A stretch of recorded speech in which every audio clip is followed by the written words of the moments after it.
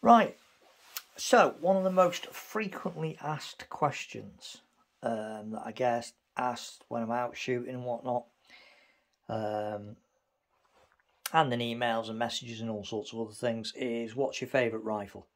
You've had that many good guns and you've got that many nice rifles, and I've got a fair few really nice rifles. What's your favourite? And obviously that varies a little bit. Um, I must admit, it was my Steyr Pro X Scout, which is a fantastic rifle. It really is. But I've got to say that since I've had this um, Red Wolf Midnight um, with the HiLite bottle on it, I find every time I go out now, or nearly every time I go out, and I open the gun cabinets, one of them, this is the rifle that invariably ends up coming out. Um, there's just something about it that appeals to me. I just really get on well with this gun. Not only is it phenomenally accurate, I mean it is stupidly accurate. Um, but it's also a stunning looking thing. And there's something about it, it just handles so well.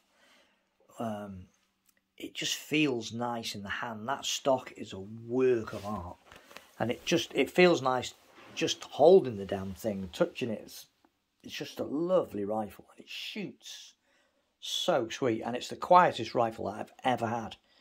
With that A&M Custom Gunsmiths uh, Twink C silencer on the end of it, it's ridiculously quiet. Now I thought my Edgun um, R5M Matador was quiet, and it was. When I put that uh, bat silencer on that, that was a very, very, very quiet air rifle. And uh, oddly enough, the other Edgun that I had as well, the Leshiy 1, um, that also, when I put the silencer um, on that, that also was a very, very quiet rifle. I mean, very, very quiet rifle. Um, but this thing's something else. It's just, it's just unbelievably quiet. It really is. It's whisper quiet, pinpoint accurate, and I think it's just gorgeous. So, at the minute, I must admit, every time I open the cabinet, uh, unless I'm making a conscious effort to take one of the other rifles out because I think I'm not utilising it, um, it's nearly always this that gets to come out. Um, it's just amazing. It really is. It just everything about it is just spot on. The trigger is beautiful. Um, the balance with the HiLite bottle, um, and I'm going to say it again, like the first Red Wolf that I had um, with the steel cylinder, I couldn't get on with. It. I didn't like the balance of it. I didn't like the way it manoeuvred.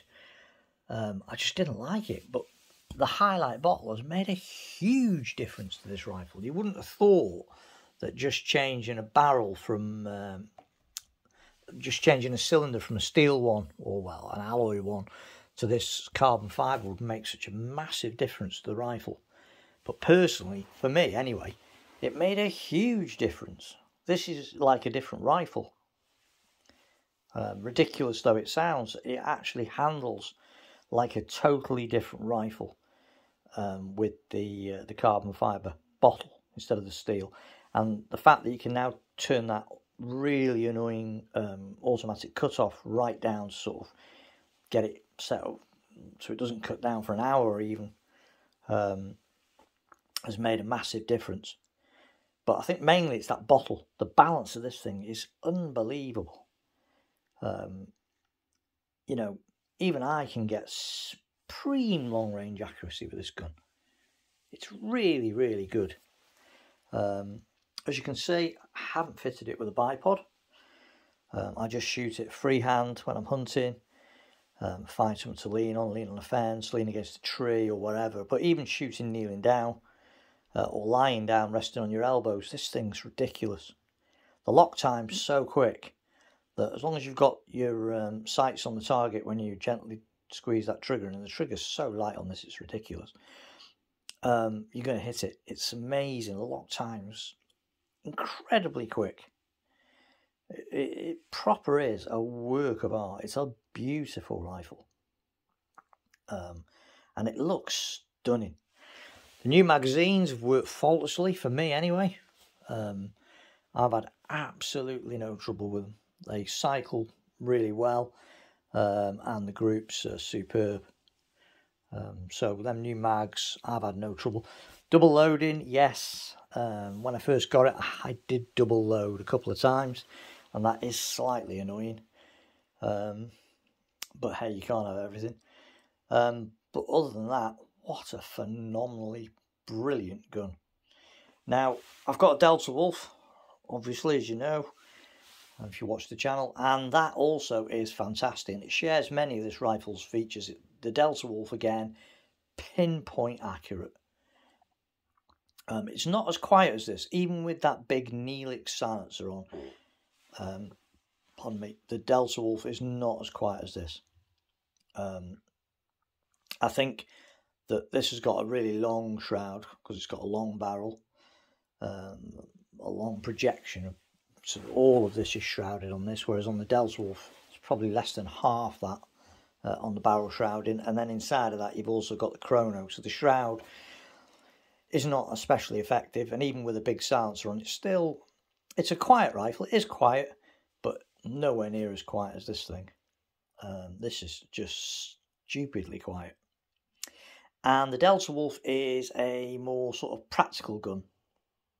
Um, you know, you've got instant bipod, tripod attachment, easy. Um, tactical. It's you know you can put alter it to fit whatever you like. It's got rails everywhere for lasers, cameras, uh, night vision gear. Mounting a scope's easy because that's another thing with this. Mounting a scope, you do need to make sure you've got clearance for the uh, the magazine. Um, on the Delta Wolf, that doesn't apply. So the Delta Wolf's probably a more practical proposition, but for some some reason that I can't really put my finger on, um, because they're both as accurate as one another. To be fair, um, this thing's just I don't know, it just does it for me. Just like it's just a superb air rifle. It's a perfect combination of a fantastic looking air rifle uh, and also an air rifle that shoots as good as it looks. It's super accurate, unbelievably quiet. Um, the lock time on it is spectacular. Um, the trigger is phenomenal, and the stock is so beautifully ergonomic. This pistol grip's a joy. Um, raisable cheek piece. I've raised. I only raised it a fraction. Um, but it's just an amazing air rifle, and this has definitely become my number one. Every time, like I say, open the gun cabinet, pick a gun to pick, it nearly always ends up being this.